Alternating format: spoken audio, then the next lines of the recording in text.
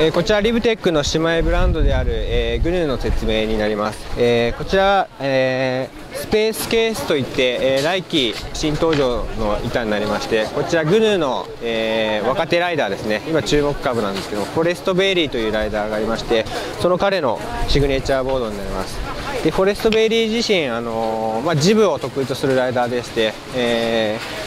フレックスがかなり柔らかい構造の板になってます。でフレックスだけではなく、え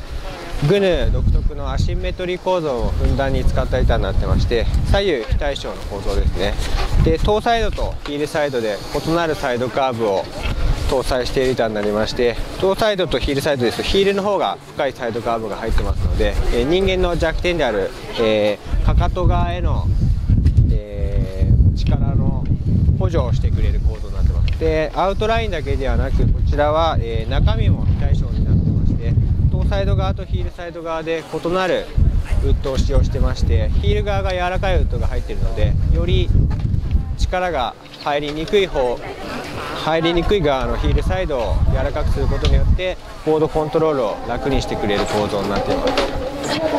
す。でこちらノーズとテールのカットもかなりアシンメトリー構造になってますので、えー、圧雪バーンだけでなくパウダーでもこのアシンメトリーの構造をより活か活かせるボードのボードとなってますので来季注目の1本になります。でこちらが、えー、 GNU の代表である、えー、 Park Pickle ですね。来季はこのようなマーブル柄のグラフィックになってましてこちらも、えー、 GNU の定番となりつつある、えーピックル構造ですね、えー、アシンメトリー構造になります。でトーサイドとヒールサイドで異なるサイドカーブプラス中身の非対称ですね。トーサイド側とヒールサイド側でヒールサイドの方が柔らかいウッドを使用してますので、えー、こちらはドツインの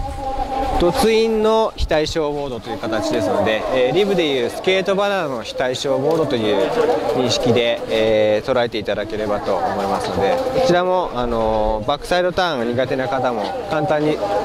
えターンが切れますので、え楽しく乗れる一本になっていますぜひ乗ってみてください。